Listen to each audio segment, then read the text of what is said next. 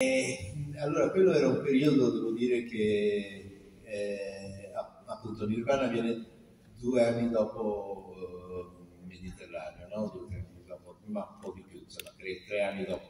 Eh, io mi ricordo che all'uscita del Mediterraneo decisi di non aspettare l'uscita del film perché avevo troppo paura di come veniva preso dal pubblico e quindi con la mia compagna abbiamo deciso di andare in India per due o tre mesi e lì è partito tutta una serie di cose, già un po' studiavo eh, le filosofie orientali già da un po' di tempo e, e ho scoperto alcune cose, ma eh, gli indù, gli induisti, ma anche i buddisti in genere, io non sono buddista, eh, non, non chiarire, eh, non sono praticante, per un po' l'hanno sempre detto, non so perché, ma insomma, eh, i buddisti chiamano la realtà che noi viviamo, la chiamano Maya, cioè illusione. Eh, pensa come questa cosa eh, si sposa bene con Nirvana. Eh, l'avatar che, loro, che per loro è il tuo doppio, l'anima, eccetera, cioè è esattamente quello che... La stessa, si usa la stessa parola anche eh, nella rete, non solo, ma i primi computer addirittura eh, avevano, quando c'era, un errore, ti arrivava un numero e poi con scritto sotto Guru Meditation, cioè lasciare eh, dare a un tecnico la soluzione del cosa, però Guru Meditation.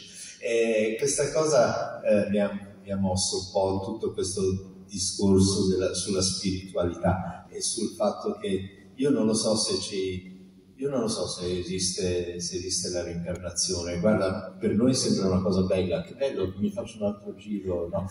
Eh, no, non è esattamente così, per loro, eh, per loro il problema è raggiungere il nirvana, cioè no?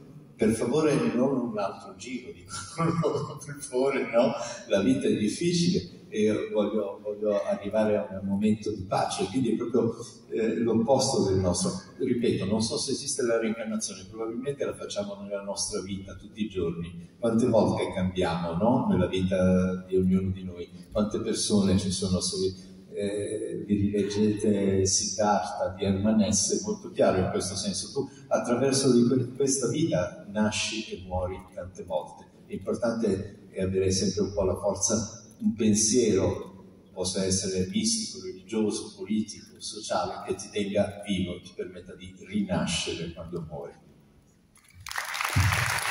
Vedi come è curioso, mi viene in mente un virus, no? Aiuto. Forse ne siamo usciti, non sappiamo, ma eh, potrebbero esserci altri. Guarda come una cosa negativa eh, può far nascere una coscienza diversa no? La, eh, il virus elettronico del gioco fa nascere in, nel personaggio di Solo, dato da Diego, fa nascere la coscienza del fatto che lui è dentro solo in un gioco.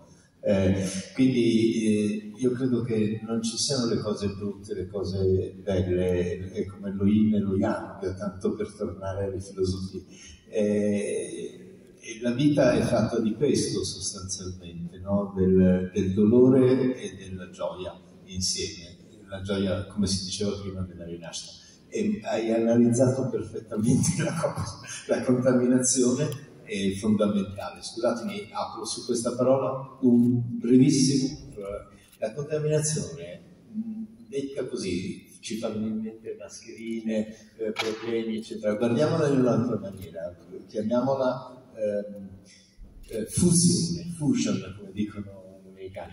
Ecco, questo invece ci ha sempre salvato la vita. Sto parlando anche eh, in questo senso della paura che abbiamo da sempre del, del nuovo, del diverso, dell'immigrazione, di quelli che arrivano, eh, che sono diversi da noi. Guardate che questa è un'opportunità, non è, non è un problema.